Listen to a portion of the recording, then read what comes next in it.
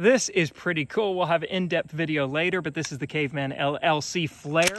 When it gets hot, it will glow. Starting to reload before I even...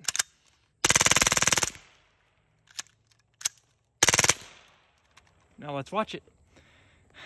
This is the coolest part because as the uh, as the heat transfers from the baffles to the suppressor to the, uh, the the the flare, it just starts to glow. So now you have no excuse. You won't burn yourself, or you, you deserve it if you get burned now. And I won't burn so many range bags and everything because I know it's hot. So stay tuned.